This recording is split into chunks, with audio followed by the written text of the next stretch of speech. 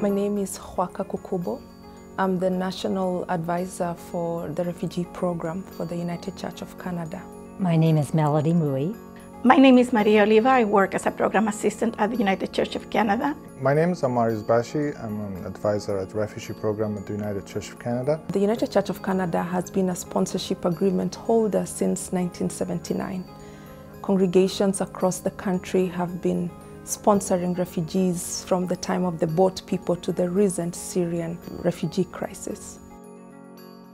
I think it's very important for the United Church and for the churches across the country to provide a welcoming community for refugees. Canadians have really embraced refugee work.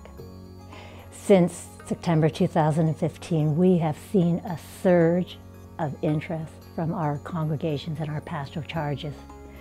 We, in those early months, we were inundated with phone calls and emails from Canadian families wanting to sponsor their refugee families overseas, with congregations expressing interest in wanting to sponsor refugees.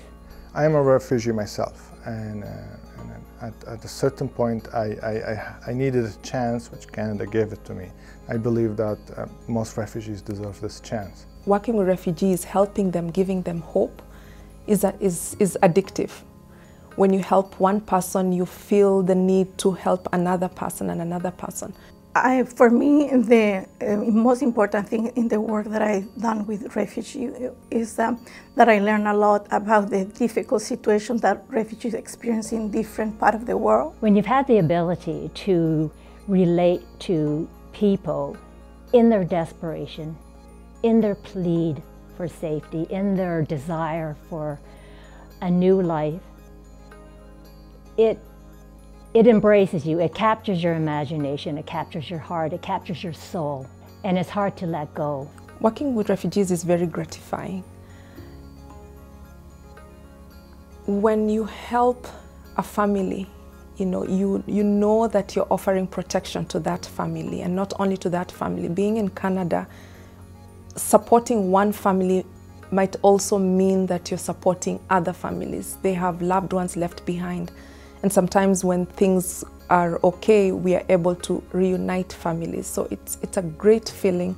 Congregations get involved. It's, it's new friendships. It's, you know, building the neighborhood. It's, it's a great thing. During the last year, I, I witnessed a lot of um, private citizens who getting together and, and, and forming groups to help uh, sponsoring refugees. It's been a privilege working with refugees and give me hope and, and, and, to give more efforts, helping more refugees come to Canada and start a new life. We are thankful for the inspiring work with refugees happening in United Churches across the country. We invite you to share your video testimonies of how you and your church became involved in working with refugees and how this has impacted your faith and community. Please share your two to three minute video testimony on social media using the hashtag United with Refugees. We look forward to seeing your responses. Thank you and blessings on your work.